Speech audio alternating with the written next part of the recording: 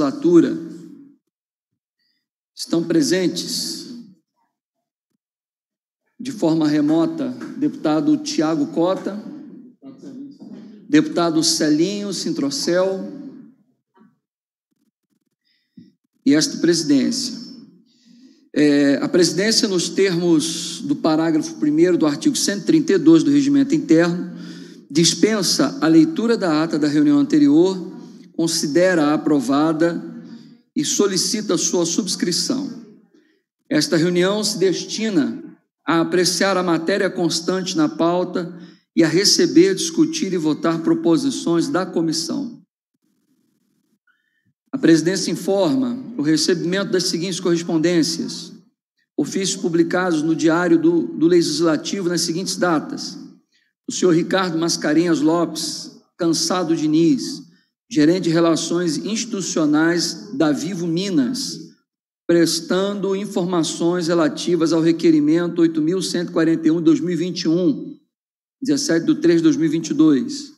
Do senhor Robson Carlinhos Santana Paz Loures, do Departamento de Edificações e Estradas de Rodagem do Estado de Minas Gerais, prestando informações relativas aos requerimentos números 9.269 de 2021, 10.399 e 10.725 de 2022, 7 de 4 de 2022 e 10.003 de 2021, 12 de 3 de 2022, 10.204 de 2021, 17 de 3 de 2022, 10.404 de 2022, em 28 de 3 de 2022, 10.408 de 2022, em 2 de 4 de 2022, e 10.410 de 2022, em 31 de 3 de 2022.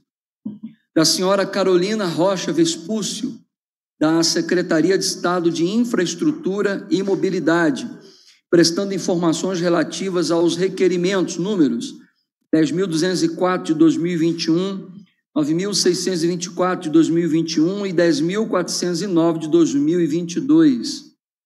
10.003 de 2021 e 10.410 de 2022. 10.398, 10.401 e 10.402 e 10.403 de 2022, em 31 de 3 de 2022 da senhora Ana Reis, presidente do Tribunal de Contas da União, prestando informações relativas ao requerimento número 10.396-2022, em 21 de 4 de 2022, do senhor Igor Mascarenhas Zeto, da Secretaria de Estado de Governo, prestando informações relativas ao requerimento número 10.401 de 2022, do senhor Davidson Matos Carvalho, superintendente regional do Departamento Nacional de Infraestrutura de Transporte, prestando informações relativas aos requerimentos números 10.411 e 10.412 2022, do senhor Joaquim Francisco Neto e Silva, da Polícia Civil do Estado de Minas Gerais, prestando informações relativas ao requerimento 10.863 de 2022, do senhor Paulo Henrique Xiste da Silva, vereador da Câmara Municipal de Ouro Fino, solicitando que esta casa interceda perante o Departamento de Edificações e Estradas de Rodagem de Minas Gerais, DRMG, com vistas a que sejam realizadas operações tapa-buracos e recomposição asfáltica na MG 290, que liga Jacutinga a Pouso Alegre, até a divisa com o estado de São Paulo. Do senhor Vinícius Pedro, presidente da Câmara Municipal de Bom Despacho, comunicando a criação da Câmara Regional com a reunião das câmaras municipais do Centro-Oeste, do Alto Paranaíba e do Triângulo Mineiro. Do senhor Marcos Carneiro da Silva, motorista usuário da MG 190 e da MG 188, encaminhando cópia de requerimento apresentado ao diretor do Departamento de Edificações de Estradas e Rodagens do Estado de Minas Gerais, para obter informações sobre as ações para melhoria das condições das rodovias MG 190 e MG 188, solicitando apoio desta casa para buscar soluções que atendam aos anseios dos que trafegam nestas, nessas rodovias. Em 14 de 4 de 2022, encaminhando CD com matérias referentes à situação precária da rodovia MG 190 para instruir requerimentos enviados a esta casa, em 28 de 4 de 2022. Informa ainda o recebimento dos seguintes e-mails do senhor João Santiago, coordenador do seminário Plano Diretor Novos Horizontes, encaminhando a moção aprovada no seminário de PD e Novos Horizontes. Do senhor Júnior, solicitando à comissão a realização de uma audiência pública sobre os problemas da fiscalização do transporte público metropolitano. Do senhor Célio Maurício Júnior, sobre a discussão de implantação de uma linha de trem BH em Otim. Do senhor Joel Berti Xavier dos Santos, registrando uma reclamação e solicitando a apuração, agilização e correção do descaso com os usuários do transporte público municipal de Belo Horizonte dos demais municípios que compõem a grande BH, proporcionando, proporcionado pelas empresas de transporte público, pelas prefeituras e demais pessoas e instituições. A presidência acusa o recebimento das seguintes proposições, das quais foram designados como relatores. Projeto de Lei 1698-2020, do segundo turno, deputado Léo Portela, presidente desta comissão. Projeto de Lei 1251-2019, em primeiro turno, nobre deputado Celinho Sintrocel.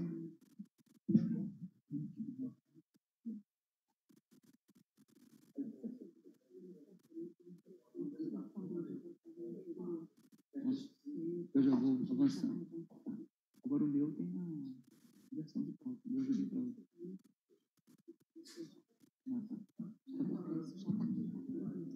Tá tudo bem. Passa-se a primeira fase da ordem do dia, que compreende a discussão e a votação de pareceres sobre proposições sujeitas à apreciação do plenário. O deputado que desejar fazer a discussão, o encaminhamento da votação ou a declaração de voto deve se manifestar por meio do chat online.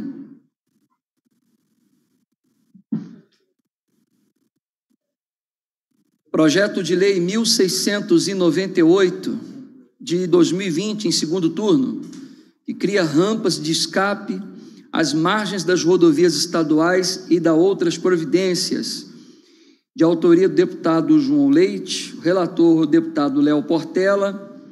Em sua ausência, estou avocando a relatoria do referido projeto.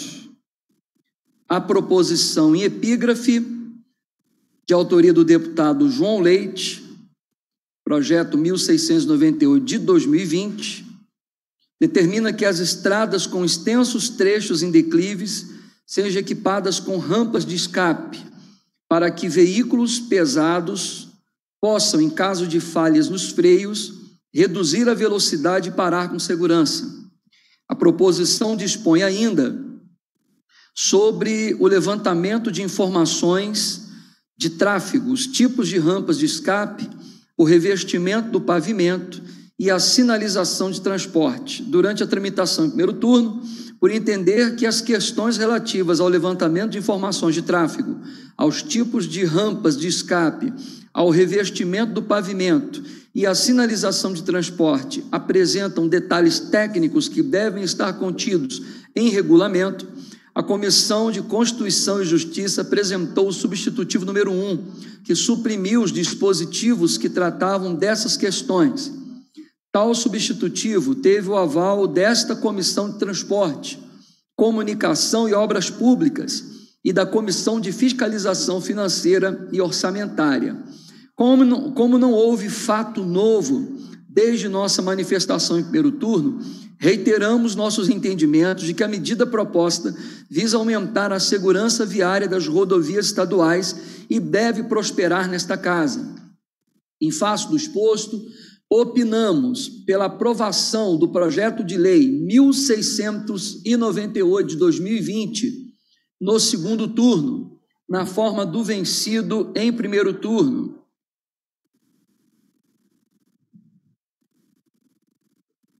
Faz a leitura. Redação do vencido dispõe sobre a implantação de rampas de escape nas rodovias do Estado. A Assembleia Legislativa do Estado de Minas Gerais decreta, artigo 1 as rodovias estaduais a serem construídas ou duplicadas diretamente pelo Estado ou por meio de concessão contarão com rampas de escape nos trechos com declives de longa extensão Parágrafo único. A implantação das rampas de escape devem seguir o disposto nas recomendações técnicas sobre o tema. Artigo 3 esta lei entra em vigor dois anos após a data de sua publicação. Vamos colocar em discussão o parecer. Não havendo oradores inscritos, encerra-se a discussão. Oi, perdão? Não havendo oradores inscritos, encerra-se a discussão. Em votação, o parecer. Os deputados que desejam votar contrariamente, por gentileza, se manifestem pelo microfone. Está aprovado o parecer. Chamamos agora projeto de lei 971 de 2015, em primeiro turno, que proíbe a cobrança do valor integral do reboque de veículos e motos apreendidos no Estado e da outras providências, de autoria do deputado Gustavo Valadares. Sou o relator e passo a emitir o parecer. Projeto em análise, de autoria do novo deputado Gustavo Valadares, determina a proibição da cobrança do valor integral do reboque de veículos e motos apreendidos no Estado quando o caminhão transportar mais de um veículo ou moto. Pela proposta, o valor integral da cobrança do reboque deverá ser dividido pelo número de veículos e motos transportados em um só caminhão. Na justificação do projeto, o, autor argumentou que é, abre aspas, lesiva ao contribuinte a cobrança integral do reboque, tendo em vista que um só caminhão transporta vários veículos e motos, e o órgão encarregado cobra o valor integral de cada proprietário, fecha aspas.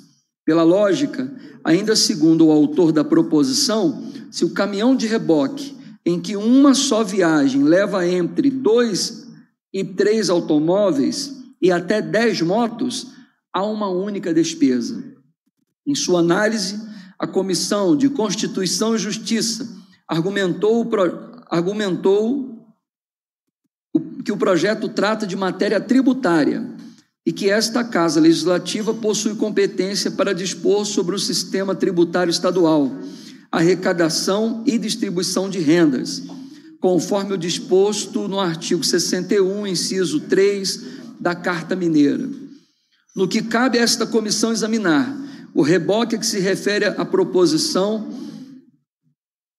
é previsto no Código Brasileiro de Trânsito, Lei Federal 9503 de 1979, nos termos do artigo 271, parágrafo 1 desta lei federal, dessa lei federal, a restituição do veículo removido só ocorrerá mediante prévio pagamento de multas, taxas e despesas com remoção e estada, além dos outros encargos previstos na legislação específica.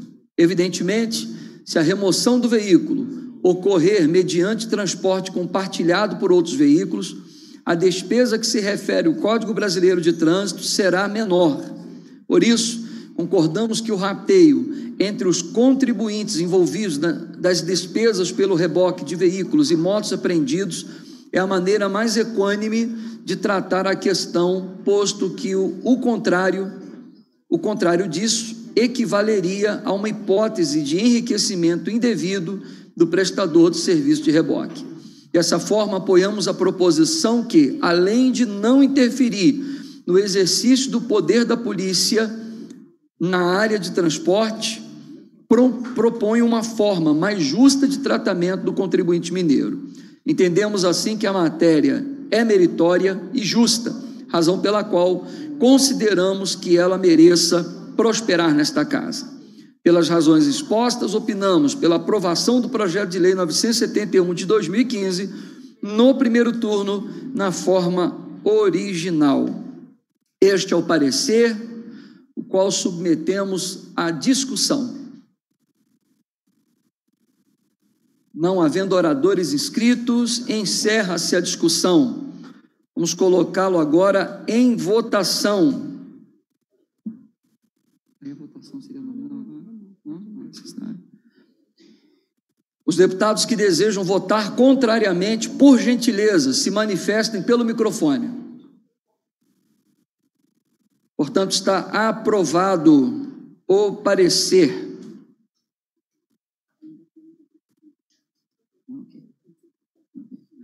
Chamamos também o projeto de lei 3135 de 2015, em primeiro turno, que dispõe sobre a desafetação de bem público e autoriza o Poder Executivo a doar ao município de Guidoval o trecho que especifica, de autoria do deputado Tito Torres, sou relator e passo a emitir o parecer. Projeto de Lei 3.135-2015, em seu artigo 1, desafeta o trecho da rodovia MGC 120, com início na ponte Cândido Mendes, no sentido para a cidade de Ubá em uma extensão de 600 metros.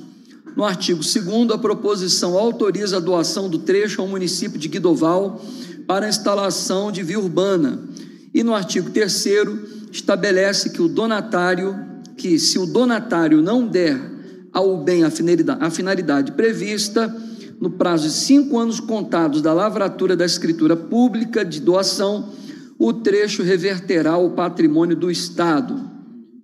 De nossa parte, lembramos que o projeto em análise é autorizativo e, e lega a discricionariedade do Poder Executivo fazer doação. Se efetivada, os textos passarão para a jurisdição municipal e serão inseridos em seu, em seu perímetro urbano. Assim, do ponto de vista da política pública estadual de transportes, não vemos empecilhos para, para que a matéria prospere. Diante do exposto, opinamos pela aprovação do projeto de lei 3.135-2015, na forma do substitutivo número 1 da Comissão de Constituição e Justiça. Está em discussão o parecer. Não havendo oradores inscritos, encerra-se a discussão. Vamos colocá-lo em votação. Os deputados. Os deputados que desejam votar contrariamente, por gentileza, se manifestem pelo microfone. Está aprovado o parecer. Agora, o projeto de lei 627, 2019, que dispõe sobre a desafetação, em primeiro turno, que dispõe sobre a desafetação de bem público e autoriza o Poder Executivo a doar ao município de Maravilhas o trecho que especifica, de autoria do nobre deputado Carlos Pimenta. Também sou relator e estou e passo agora a emitir o parecer. Projeto de Lei 627 de 2019 determina a desafetação do trecho da rodovia AMG 0325, com extensão de 600 metros, compreendido entre o quilômetro zero e o quilômetro 600, e autoriza o Poder Executivo ao quilômetro 600 metros, né? 0,600 metros e autoriza o Poder Executivo a doá-lo ao município de Maravilhas, a fim de que passe a integrar o perímetro urbano municipal. De nossa parte, lembramos que o projeto em análise é autorizativo e lega a discricionariedade do Poder Executivo fazer tal doação. Se efetivada, os trechos passarão para a jurisdição municipal e serão inseridos em seu perímetro urbano. Assim, do ponto de vista da política pública estadual de transportes, não vemos óbice para que a matéria prospere, uma vez que o trecho rodoviário continuará como via de passagem pública e terá a sua, manutenção e operação custeada pelo Executivo Municipal. Diante do exposto, opinamos pela aprovação do projeto de lei 627 de 2019, no primeiro turno, na forma do substitutivo número 1 da Comissão de Constituição e Justiça. Em discussão, parecer. Não havendo oradores inscritos, encerra-se a discussão. Em votação, os deputados que desejam votar contrariamente, por gentileza, se manifestem pelo microfone. Está aprovado o parecer. Agora nós vamos chamar o projeto de lei 785 de 2019, em primeiro turno de autoria do nobre deputado Bosco, que autoriza a concessão da faixa de domínio de rodovias sob jurisdição estadual para o plantio de lavouras brancas. O relator é o nobre deputado Duarte Bexia, a quem passo a palavra para emissão do seu parecer. Boa tarde, senhor presidente. Boa tarde, deputado Bexia. Boa tarde aos demais. De autoria do deputado Mosco, o projeto de lei em epígrafe é, tem como finalidade permitir que nas faixas de domínio das rodovias estaduais sejam cultivadas plantações do ciclo anual não permanentes, conhecidas como lavouras brancas. Alega o autor que a proposição pode possibilitar a implantação de lavouras de culturas anuais lavouras brancas, nas faixas de domínios, pode permitir um ganho social de reduzir os problemas de manutenção às margens da rodovia e, consequentemente, os riscos de acidentes, além de trazer um inegável ganho financeiro para o governo e para particular concessionário devido ao impulso da produção agrícola. Diante das respostas dos órgãos citados, senhor presidente, que foram devidamente consultados, o DR com o seu código de trânsito, é, a Comissão de Constituição e Justiça apresentou um texto substitutivo com o objetivo de sanar o vício de iniciativa levantado pela CEINFRA. A Comissão Agropecuária e Agricultura, por sua vez, corroborou com o entendimento da Comissão Jurídica, alegando que o incentivo à utilização desses espaços pode e deve ocorrer, sem, contudo, colocar em risco os usuários é, da via e do meio ambiente. No que compete analisar, entendemos justa e meritória a providência vinculada pelo supracitado projeto, tendo em vista que poderá permitir a economia de recursos vinculada pelos supracitados projetos, tendo em vista a manutenção das faixas de domínio de dezenas de milhares de quilômetros de rodovias estaduais. Evitar ainda, senhor presidente, que espécimes arboráceas de grande porte cresçam nessas áreas. Conclusão: pelo exposto, opinamos pela aprovação do projeto de lei 785 de 2019, na forma do substitutivo número 1 da Comissão de Constituição e Justiça. É o nosso parecer, presidente. Muito obrigado, nobre deputado Bexir, a quem quero cumprimentar. Vamos colocar agora em discussão o parecer apresentado pelo relator. Não havendo quem queira discutir, encerra-se a discussão. Em votação, parecer. Os deputados que desejam votar contrariamente, por gentileza, se manifestem pelo microfone. Está aprovado o parecer. Segunda fase, da nossa reunião, momento em que passamos para a segunda fase da ordem do dia, que compreende a discussão e a votação de proposições que dispensam a apreciação do plenário.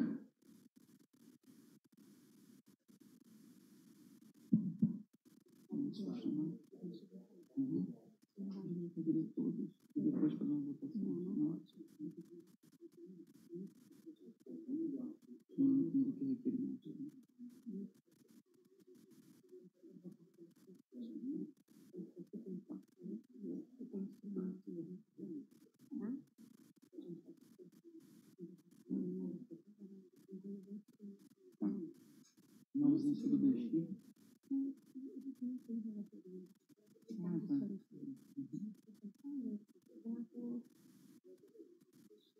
Uhum.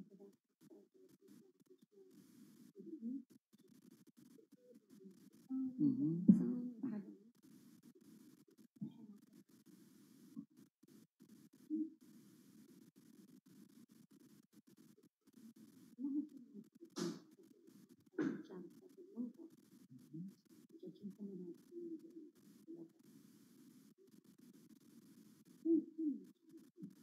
Estão suspendendo para, para entendimentos. Estão suspendendo.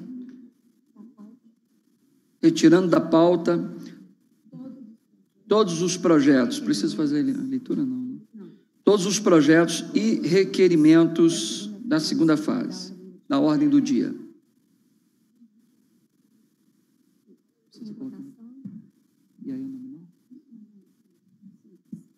Em votação, o requerimento. Deputados que discordem, que se manifestem pelo microfone. Está aprovado. Sobre a mesa, ordem do dia, redação final. Sobre a mesa, os pareceres, é isso? De redação final dos projetos de lei 2471, 2855, 2947 e 3295 de 2021. Em discussão, leitura não, né? Em discussão os pareceres. Encerra-se a discussão. Em votação, deputados que os aprovam permaneçam como se encontram. Aprovados os pareceres de redação final.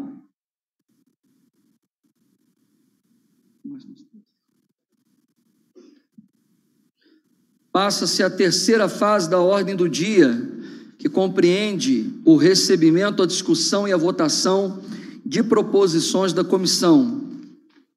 A votação dos requerimentos de comissão será em bloco. Esta presidência fará a leitura de todos os requerimentos e os submeterá à votação. Os membros da comissão poderão encaminhar a votação, fazer declaração de voto ou outro tipo de manifestação, devendo se manifestar no chat online a qualquer momento.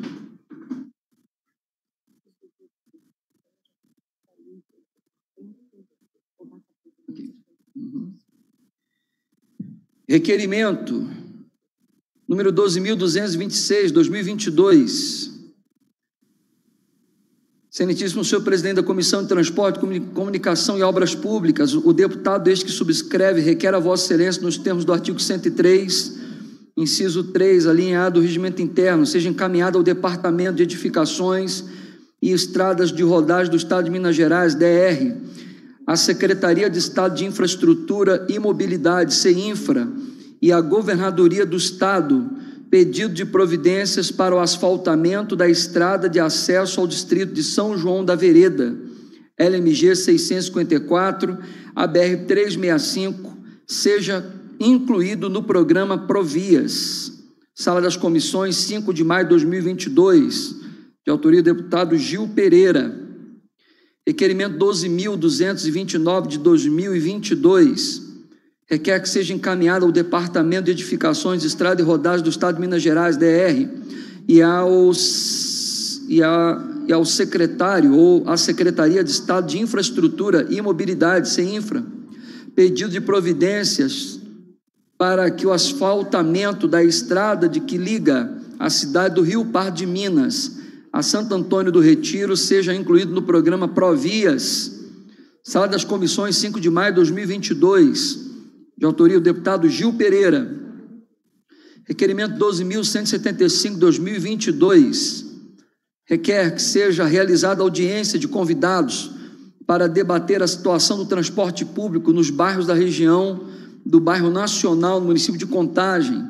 Sala das Comissões, 2 de maio de 2022, de autoria do deputado professor Irineu. Requerimento 12.089 de 2022, de autoria do deputado Dalmo Ribeiro Silva.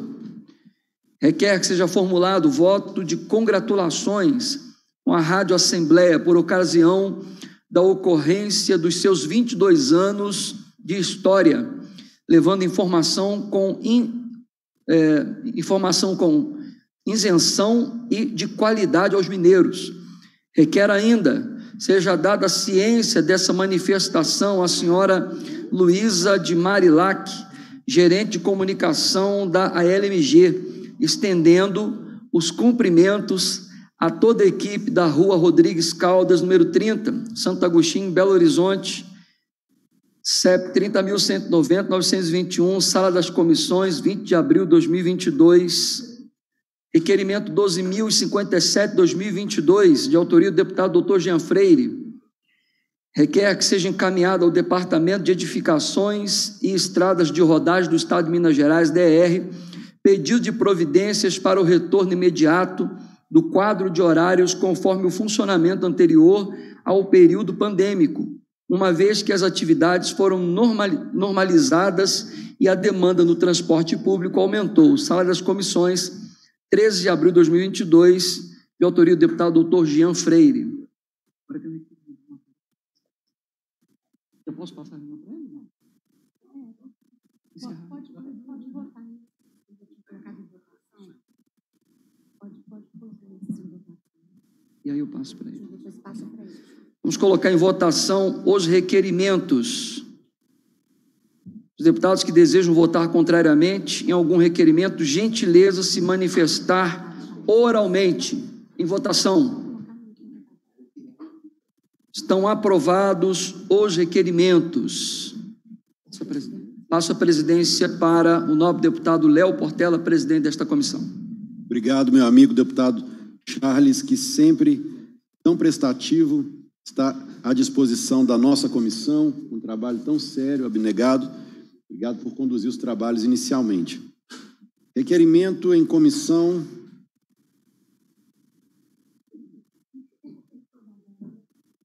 Do deputado Charles Santos. Subscreve e requer, nos termos do artigo 100 do Regimento Interno, seja encaminhado ao diretor-geral do Departamento de Edificações, Estrada de Rodagem DR, pedido de informações sobre as ações do órgão visando a recuperação para pleno uso da pista rodovia MG 383, São Braço, Açuí, também do deputado Charles Santos, requer, nos termos do artigo 100 do Regimento Interno, seja realizada audiência pública e debater sobre a saúde mental dos motoristas profissionais rodoviários. Também do deputado Charles Santos, requer, seja encaminhado ao DR e ao DENIT pedido de providência para instalação de redutores de velocidade ou similares na BR-040, altura quilômetro 281. Também do deputado Charles Santos, requer seja encaminhado ao presidente da concessionária das rodovias centrais do Brasil, SA Triunfo Concebra, em Goiânia, e ao diretor-geral da Agência Nacional de Transportes Terrestres, a NTT, pedido informações para esclarecimentos acerca do reajuste superior a 120% sobre o pedágio. Em votação os requerimentos, os deputados é, aprovados os requerimentos.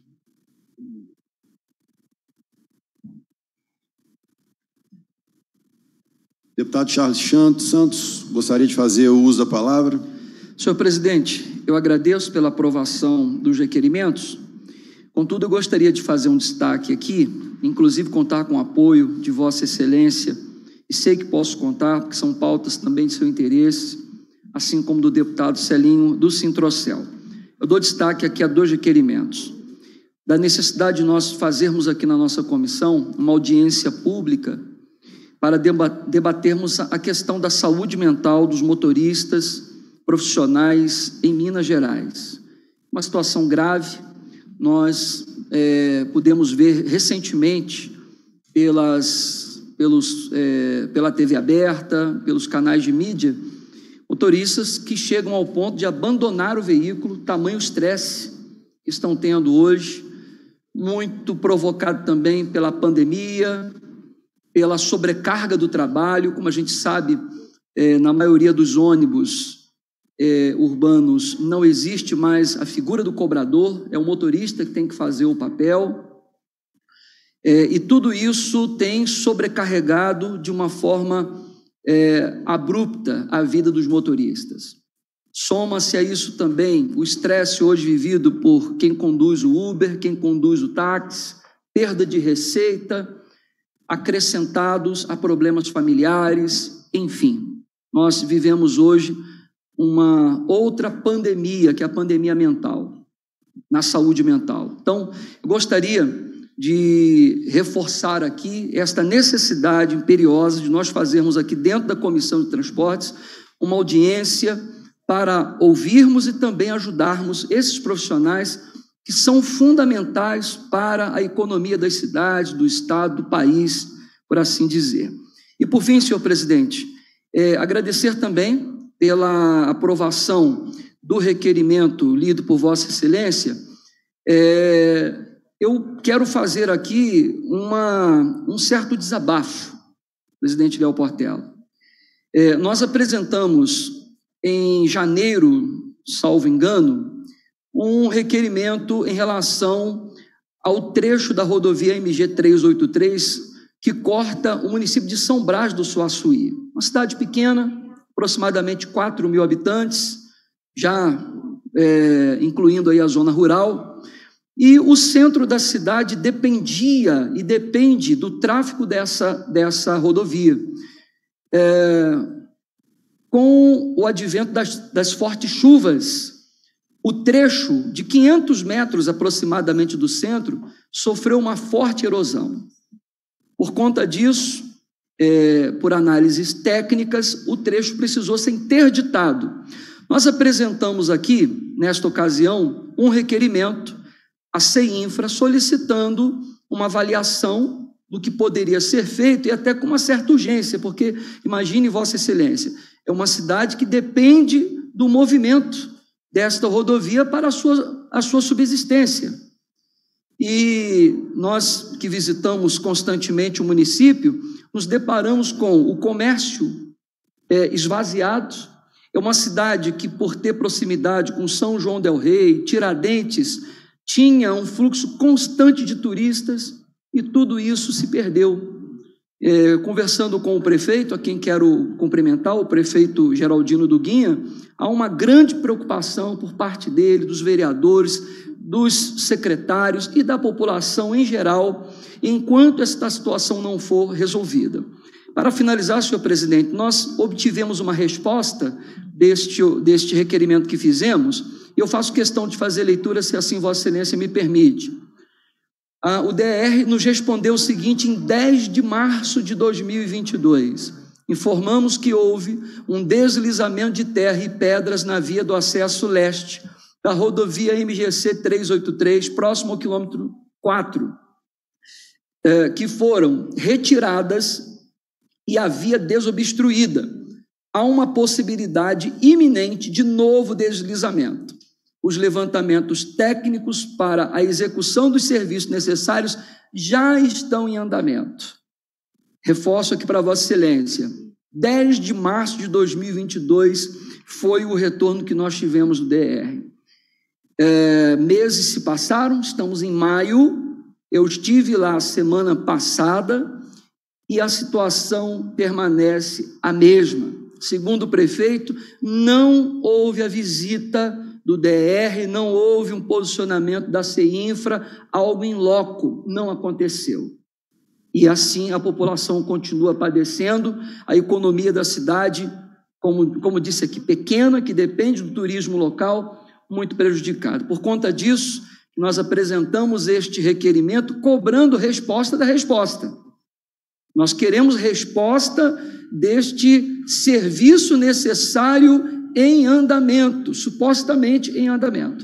Queremos esse retorno para que possamos dar satisfação à população de São Brás do, Açuí, do Suaçuí. Gostaria de fazer esse registro, agradecendo a Vossa Excelência pelo espaço. Muito obrigado, presidente.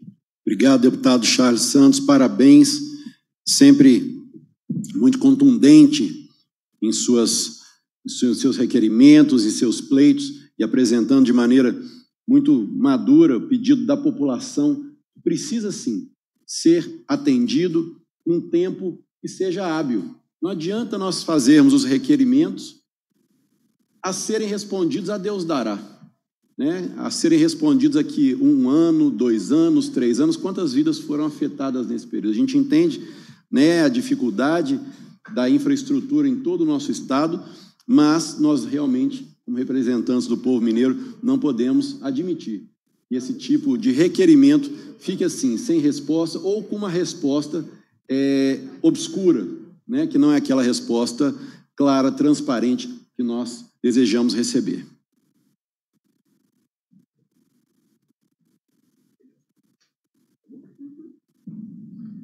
Pela ordem, senhor presidente. Pois não, deputado Charles Santos. Estou sendo informado que por motivo do por motivo do pedido de informação que nós protocolamos, o Estado agora tem 30 dias para emitir a sua resposta. Ah, ótimo. Vamos ficar aguardando, senhor presidente. Vamos ficar aguardando, sim. Então, cumprida a finalidade da reunião, a presidência agradece a presença dos parlamentares, determina a lavratura da ata e encerra os trabalhos.